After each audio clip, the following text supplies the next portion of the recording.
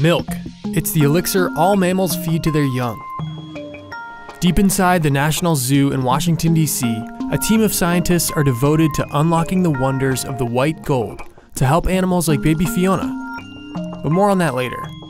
Welcome to the world's largest collection of exotic animal milk. Okay, let's get to it. Meet Dr. Michael Power.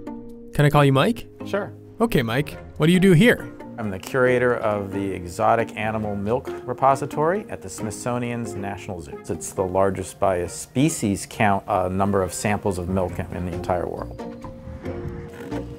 We have samples that have been collected from all over the world that we keep in frozen storage.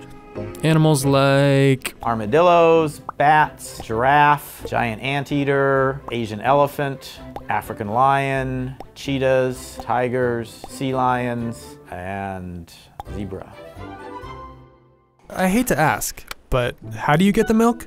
Well, I'll let Batang show you.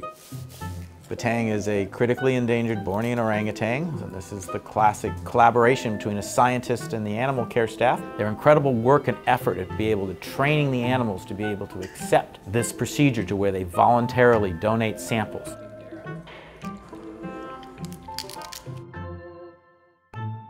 So now that we know the how, we have to ask why.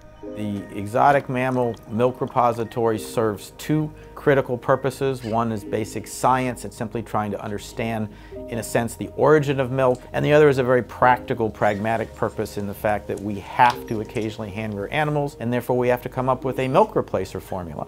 Okay, so when a baby can't be fed by their mother, you guys help come up with a formula that's as close to the mother's milk as possible. Have you heard about baby Fiona at the Cincinnati Zoo? She's the baby hippo who's stolen the hearts of people all over the country. Baby Fiona was born six weeks premature. She's a Nile hippo, and no other baby hippo had been hand raised in North America. And so we needed to put together a milk formula to be able to feed her, to have her grow. So we worked together with the Exotic Animal Milk Repository at the National Zoo to come up with a formula to feed baby Fiona. So, how's Fiona doing now? Milk is almost removed from her diet. We are very happy that baby Fiona is happy and healthy and growing very well. Awesome. Back to Mike.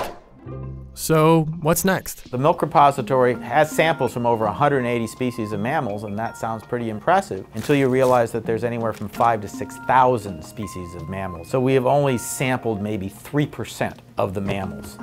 It's still only a tiny tip of the iceberg compared to what we could be learning.